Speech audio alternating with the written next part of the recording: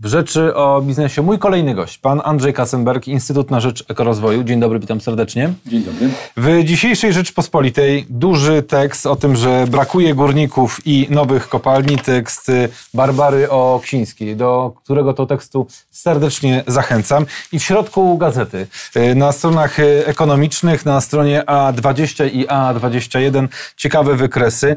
W roku 2000 wydobycie węgla kamiennego w Polsce oscylowało wokół 100 milionów ton, teraz 65 milionów i cały czas spada. Spada wydobycie, ale rośnie import. I to import rośnie z kraju, od którego byśmy się chcieli i chcemy się uniezależniać energetycznie, surowcowo, czyli od Rosji. Więc troszeczkę miało być dobrze, wyszło jak zwykle. I co z tym fantem zrobić? No, to jest bardzo poważny problem, o którym już się długo mówi. Jak gdyby rząd zaklina rzeczywistość, i to ten i poprzednie, jakby kupuje czas na rozwiązanie problemów ze względów politycznych. Wpadł w taką pułapkę polityczną mhm. i nie ma kogoś odważnego, który by powiedział na początku kadencji, bo to, to jest najlepsze rozwiązanie, że Polska w ciągu 10-15 lat odejdzie mhm. od węgla i tworzy się program, jak to zrobić z osłonami. Z, na Górnym Śląsku to nawet nie jest taki duży problem, bo tam zapotrzebowanie na specjalistów z wykształceniem technicznym jest duże, więc to nie mhm. byłoby e, zbyt kłopotliwe. No, czyli stworzyć trzeba cały taki punkt odchodzenia. Teraz pytanie, co mhm. w zamian, prawda? Bo musi być jakiś plan dla Śląska. Tak, prawda. Musi być plan dla Śląska, ale musi być też przede wszystkim polityka energetyczna. Mhm. Formalnie dziś obowiązuje z 2009 roku, która praktycznie zaraz po uchwaleniu przestała być już aktualna, a teraz nie mamy nowej. Ciągle słyszymy obiecanki że będzie. Mamy różne programy, jak na mhm. przykład program górnictwa węgla kamiennego, w którym się mówi o tym, że mamy w wariancie najlepszym 84 miliony ton mieć. Pan przytoczył 65, mhm. ledwo, że może w tym roku wydobędziemy. Tak więc jak gdyby y, y, trzeba z tej pułapki wyjść. Co w zamian? W sensie energetycznym. W sensie energetycznym mamy możliwość zaoszczędzenia energii. Około 35% można zaoszczędzić. Jeżeli połączymy to z, e, e, z energetyką e, odnawialną, z termomodernizacją, to i takie jest badanie zrobione przez Warszawski Instytut Studiów Ekonomicznych, że żeby przeciwdziałać smogowi, właśnie taki duży program termomodernizacji, głębokiej, z tym energetyką odnawialną, to mamy 9 milionów ton mniej węgla potrzebujemy. Dziś importujemy z Rosji 8 z groszami. Mhm. To pokazuje, że są możliwości. Inne możliwości to jest oczywiście rozproszona energetyka odnawialna, a taką e, rzeczywistą, która można by mieć jako punkt odniesienia do tych dużych elektrowni węglowych, no to jest szansa na morską energetykę wiatrową rzędu 6-8 mhm. gigawatów, a tyle nam będzie brakować według PSE w 2030 roku, w 2035 jeszcze więcej. Zatrzymajmy się, jeśli chodzi o, o, ty, o te kwestie związane z oszczędzaniem energii, bo o tym się nie, nie, nie dużo mówi. Przy okazji szczytu w Paryżu premier Beata Szydło mówiła o tym, że będziemy stawiali na e, termomodernizację, że będziemy stawiali na efektywność e, energetyczną i to pozostało tylko w sferze werbalnej. Zatem niestety nic nie poszło. I brakuje, wydaje mi się, w Polsce też takiego spojrzenia, słuchajcie, może nie potrzebujemy wybudowywać kolejnych bloków, tylko zastanówmy się nad tym, skoro nam bardzo nie wzrasta zapotrzebowanie na razie na energię, a samochody elektryczne na sekundkę zostawmy, to może warto się zastanowić nad tym, czy zamiast budować kolejny blok, może przyjrzeć się temu, w jaki sposób tę energię wydatkujemy. Tak, jeśli chodzi o kwestie indywidualne, czyli czy mamy żarówki wymienione na LEDy, e, czy wyłączamy to światło wtedy, kiedy faktycznie nas w pokoju nie ma, etc., etc. I tutaj można takich, takich rzeczy mnożyć. A dwa, zobaczyć na przykład na e, oświetlenie miejskie, tak? Czy to oświetlenie miejskie jest już w systemie LEDowym, czy jeszcze jest w tym starszym systemie? I być może dzięki temu bylibyśmy w stanie dużo energii i dużo pieniędzy, co za tym idzie, zaoszczędzić. No zdecydowanie z Panem się zgadzam. To jest taki bardzo szeroki program oszczędności. On poza tym, co Pan wspomniał, czyli w gospodarstwach domowych, w y, miejscowościach, w miastach i wsiach, także jeszcze jest duży potencjał zaoszczędzania energii w przemyśle, mhm. prawda? Y, zwłaszcza w małych i średnich przedsiębiorstwach Więc stworzenie takiego programu, który by pomagał, byłby na pewno bardziej korzystny niż budowa nowych kopalni czy budowa nowych y, mocy węglowych, bo trzeba sobie y, jeszcze pomyśleć o tym, że żeby to zaistniało, to trzeba mieć projektantów, to trzeba wyprodukować materiały, y, które by y, termomodernizowały, y, to trzeba mieć ludzi, którzy to zainstalują, to trzeba mieć cała branża IT, która jest bardzo potężna w Polsce, mogłaby tworzyć programy zarządzania tą energią, żeby było taniej. Czyli to tworzy naprawdę bardzo duży rynek w sensie gospodarczym. To nie jest, że tak powiem, wymysł ekologiczny, wymysł klimatyczny. To jest y, y, y, rzetelna analiza, która daje szansę polskiej gospodarce i to lokalnie polskiej gospodarce, bo w każdej miejscowości można zaoszczędzić energię. A przecież wiadomo, że tam właśnie by warto zatrzymywać ludzi, zwłaszcza młodych ludzi, aktywnych. I to, to jest takie całościowe myślenie, którego moim zdaniem totalnie brak. Dwa tygodnie temu podczas jednej z debat w Rzeczpospolitej były już e, wiceminister energii, pan Piotrowski, y, powiedział, że ujawnił trochę, tak, że pierwszy reaktor, który będzie w Polsce, to będzie reaktor pracujący w kogeneracji, czyli jednocześnie wytwarzający energię cieplną i energię elektryczną. Pana zdaniem to realna zapowiedź, czy to takie science fiction jednak Znaczy, cały czas? Y, Za czym odpowiem na to pytanie, to powiem, że w sensie kogeneracyjnym Polska nie wygląda źle.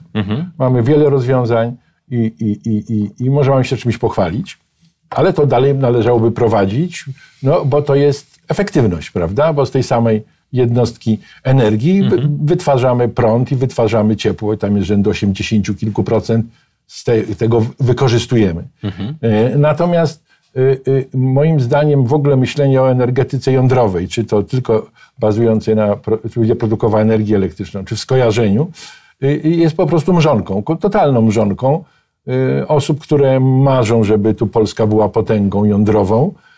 Natomiast to kompletnie się nie opłaca. Co więcej, to blokuje nas na lata na nowoczesne rozwiązania, które już są albo zaraz pukają do drzwi. To dlaczego nas blokują, proszę powiedzieć? No, blokują dlatego, że jeżeli wybudujemy dzisiaj elektrownię węglową, taką jak na przykład niedawno otworzyliśmy e, blok 1000 MW w Kozińcach, to tak z 50 lat e, e, lekko będzie, no i trudno będzie powiedzieć, że należy go zamknąć po 5 czy 6 latach. Jeżeli wybudujemy elektrownię jądrową, to też na tak, taką mniej więcej czas, no, zwłaszcza, że no, licząc, że ona by powstała pod koniec lat 30., no to mamy do 2080 roku zablokowaną zmianę. A dzisiaj zmiany są bardzo szybkie, gigantycznie szybkie. W związku z tym, jeżeli sobie y, usztywnimy tą naszą energetykę, to nie ma szans na to, żeby być elastycznym. Dzisiaj Japończycy mówią o tym, że będą budować pali- y, y, y, mm, y, będą budować w oparciu o wodór małe takie y, jednostki paliwowe i będą od 2030 roku mieć rozproszoną energetykę nie tylko y, odnawialną, ale właśnie tą innowacyjną, nowoczesną. I to jest moim zdaniem przyszłość i tu trzeba szukać szans na to, ażeby y, Polska zaistniała w sensie konkurencyjnym, gdzie byśmy mogli to ewentualnie sprzedawać, bo to, to w ten sposób się dzieje, prawda? Niemcy nie dlatego poszli w energii wędeli tylko, bo są tacy proekologiczni, ale to napędza ich innowacje. To tworzy zielone miejsca pracy. Pół miliona miejsc pracy w, w, takiej, energetyce rozproszonej, w produkcji, instalacji i tak dalej. To jest to myślenie, którego moim zdaniem totalnie brakuje, a marzymy, przepraszam za wrażenie, pan jest facetem i ja, tacy mali chłopcy, to byśmy sobie coś mieli, własną elektrowiankę jądrową, się będziemy cieszyć. Bo wydaje mi się, że cały czas w Polsce to pokutuje to wielkie, tak? Czyli wielki blok, e, wielka produkcja, a jak wielki blok, to za chwileczkę trzeba przesyłać. A jak przesył, no to straty. E, Później mieliśmy sytuację taką latem, e, w wakacje, w wyniku wichur na e, północy kraju. Wiele gospodarstw było odciętych, bo jedna linia główna energetyczna, czy kilka, tak? Pół miliona osób Tak. bez energii elektrycznej. Dlaczego? Bo z jednego dużego bloku przy przesyle jedną linią energetyczną, która uległa a zniszczeniu, tak, uszkodzeniu, ludzie nie mają dostępu do prądu. Przy z rozproszonej energetyce ten problem łatwiej można byłoby rozwiązać. No zdecydowanie tak. jeżeli dobrze pamiętam, chyba około 4 tysięcy budynków i dachów uległo uszkodzeniu, mhm. a 480 tysięcy ludzi było bez prądu. Jeżeli teraz założyć, że znacząca z tych ludzi część korzystałaby właśnie z rozproszonej energetyki, to automatycznie te ograniczenia w dostawie energii byłyby, w ogóle by ich nie było, albo były znacznie mniejsze. Odbudować by było to łatwo. Mhm. E, e, ponadto no, dzisiaj ciągle jeszcze mamy wysokie straty na przesyle. Ja sądzę, że rzędu kilkunastu, tam 11, 12 procent e, na świecie, 5, 6. I to wydaje mi się, a ponadto jeszcze jest następna rzecz, że te wielkie, duże systemy, które my mamy, to także jest problem jakości dostarczanej energii elektrycznej. Mhm. W wielu miejscowościach, które są na jednej linii, czasami jest 190, czasami jest 200, e, e, a powinno być 230. E, w związku z tym mamy wyłączenia, które są kilkakrotnie większe. W Niemczech chyba jest 14 minut na, na mhm. klienta, w Polsce jest około 200 minut na klienta. Więc to wszystko razem daje bardzo korzystne rozwiązanie, jeżeli będziemy takie kiedyś było hasło, małe jest piękne, mhm. prawda? I, I, natomiast to duże jest po prostu totalnie nierealistyczne i świat odchodzi od dużych rzeczy, niezależnie czy jest energetyka, czy inne rozwiązania. Y, to, to jest zły kierunek. Z punktu widzenia też bezpieczeństwa, wyłączenie dużego bloku no to już jest kaskada, tak? Tu mieliśmy 20 stopień zasilania, sierpień no, 2015 y, roku. Padł nam 850 tak? Y, ten... Bełchatów, tak? Tak, 2850 wat, watów, nie, mhm, megawatów, megawatów, przepraszam. Mhm. Najbardziej nowoczesne okazało się, że coś tam się popsuło. Jeszcze do tego dochodziły planowe naprawy, mhm. no i susza, brak wody, a więc w związku z tym braki chłodzenia, chłodzenia. i trzeba było ograniczyć produkcję, no, żeby nie zrzucać wrzątku do, mhm. do rzek, y, y, albo wody brakowało do mhm. chłodzenia. No i to, to, to było przy dużych. Gdybyśmy mieli wtedy odpowiednią ilość energetyki rozproszonej, słonecznej, kiedy było bardzo słonecznie, mhm. to byśmy mieli problem rozwiązany. Nie byłoby tego, bo ona by przejęła te obowiązki. Mhm. Proszę sobie wyobrazić, że w grudniu zeszłego roku, 25 grudnia, kiedy było oczywiście niskie zapotrzebowanie, 40% energii elektrycznej było pochodziło z, z, z wiatru, wiatru tak. a największa elektrownia e, węglowa w Polsce pracowała na 14%. Więc y, y, popatrzmy teraz na to, że jak wybudujemy taki gigant i będziemy rozwijać energetykę y, y, odnawialną i, be, i będzie ona coraz bardziej korzystna, coraz będą większe moce, coraz będzie łatwiej produkować z niższego prędkości wiatru, to się okaże, że te duże wybudowane obiekty będą miały problemy ze spłatą kredytów. Będą nierentowne, bo będą trzeba było je wyłączać. Trzeba będzie, albo trzeba będzie produkować znacznie mniej, bo ktoś inny na rynku taniej wyprodukuje. Mhm. I czyli ich sytuacja ekonomiczna, tego giganta, także w przyszłości będzie bardzo trudna. No stąd też w którymś momencie zaczęto y, energetykę wiatrową y, znacząco ograniczać y, kolejnymi ustawami o odnawialnych źródłach energii, wspominając choćby o ustawie odległościowej. Ale co w takim układzie powinno być z Ostrołęką. Czy Ostrołęka, która miała być według zapowiedzi pana ministra Tchórzewskiego z Krynicy z ubiegłego roku, z września, miała być ostatnim blokiem węglowym w Polsce? Abstrahując już teraz od problemów samego węgla, ale chodzi o tą też efektywność, o koszty budowy, bo okazało się, że firmy, które e, zgłosiły się do, na, na zapytanie, no, okazało się, że, że, że te ceny są gigantyczne.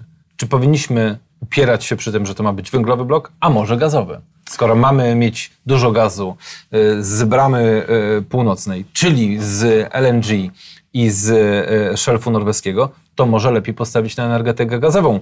Taki blok stawiamy szybciej i w sytuacji, kiedy cokolwiek się dzieje, taki blok jest w stanie bardzo szybko wejść do systemu. Tak? To jest kilkanaście e, e, e, sekund do kilku minut, a nie kilka godzin, jak ma to w przypadku tak zwanej zimnej rezerwy i bloków węglowych. Może znaczy gaz? Tak. Znaczy tak. Y, na pewno budowa Ostrołęki jest według wielu ekspertów błędem i nie jest potrzebna w sensie tym, że bazujemy tam na węglu.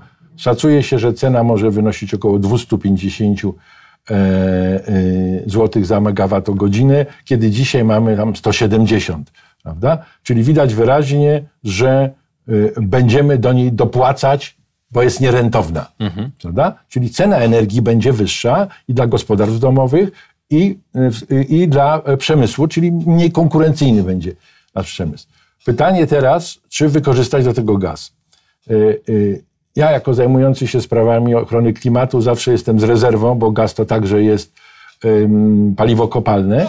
Ale, ale najczystsze. Ale najczystsze. To jest, to jest racja. Jest mniej więcej połowę y, mniej emisyjne niż powiedzmy węgiel. Y, nie jestem przeciwny temu, ale trzeba by zastanowić się, tak jak na początku, panie redaktorze, mówiliśmy, trzeba było mieć wizję całości.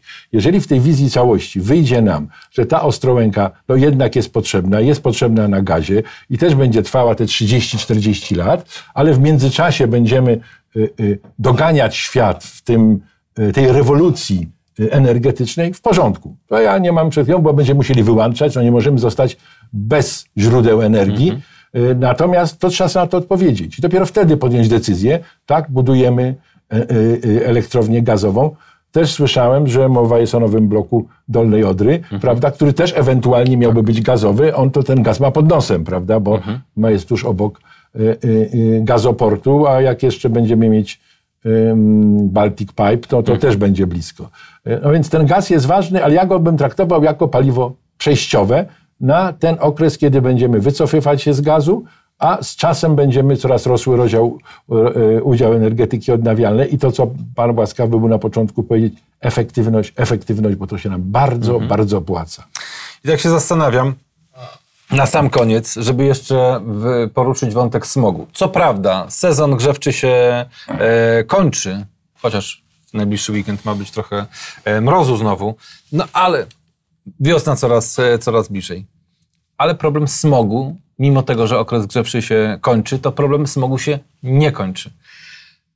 Co Pana zdaniem powinno się zrobić, żeby przede wszystkim to ubóstwo energetyczne zwalczyć? Bo to, że mamy smog, to, że e, musimy się ogrzewać, wiemy. Tylko pytanie, w jaki sposób dopomóc tym, którzy są jednymi z największych emitentów tego, tego smogu, czyli tych, którzy, których nie stać ja nie mówię, że oni nie są świadomi, bo oni są świadomi, ale ich nie stać na to, żeby mieć lepsze paliwo, e, bo to, że im gmina piec wymieni, to nie jest rozwiązanie problemu.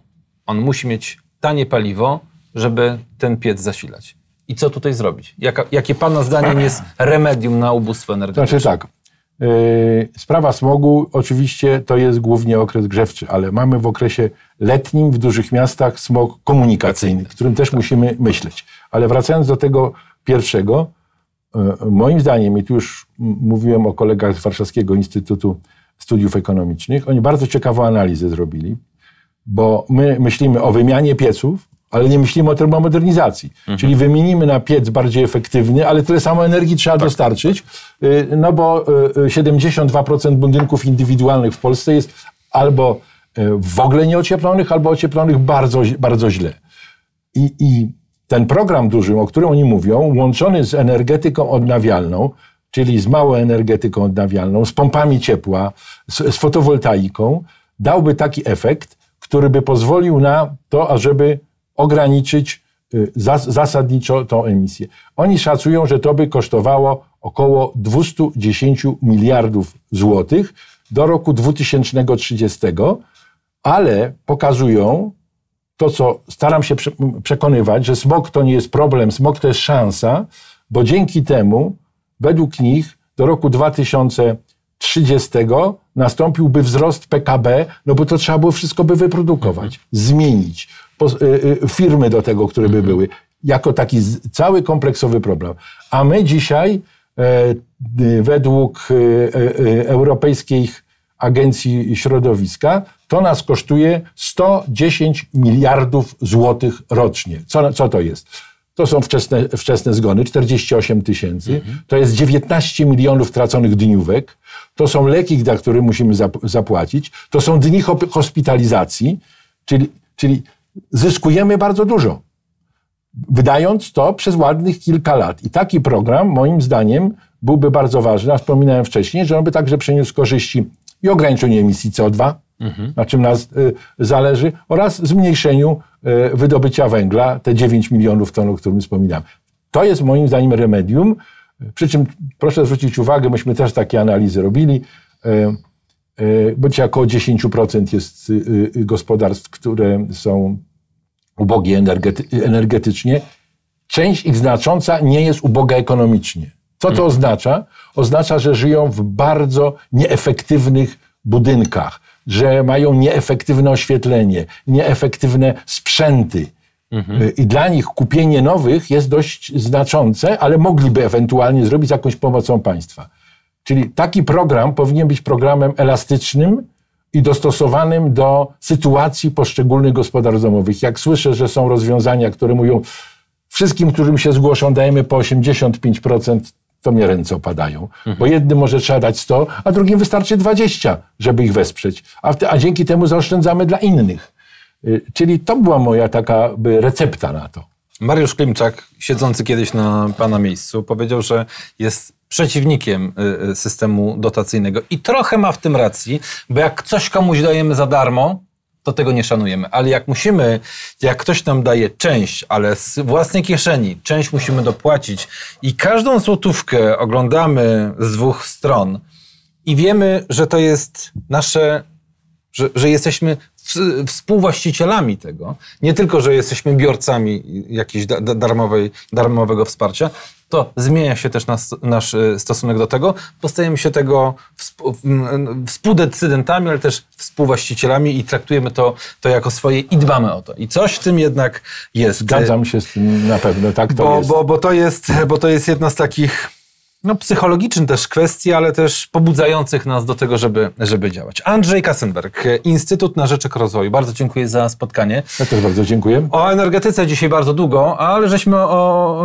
gospodarce o obiegu zamkniętym nie, po, nie, nie porozmawiali, ale przyznam się szczerze, temat energetyczny ważny, e, pasjonujący, ale do tematu ja domykania jestem, gospodarki. Ja jestem, ja jestem zamykania obiegu gospodarczego. To tak. jest najlepiej powiedziane. Bo, bo y, chyba jest jednak mitem to, że, że, że, że, mamy gospodarkę w pełni o obiegu zamkniętym, ale domykanie tego obiegu będzie ważne. I na taką rozmowę umówmy się za Dobrze. kilka dni, bo temat jest ważny. To wszystko dzisiaj w programie Rzecz o biznesie. O godzinie 12 prosto z parkietu, a o godzinie 13 Rzecz o prawie Michał Niewiadomski. Dziękuję i do zobaczenia.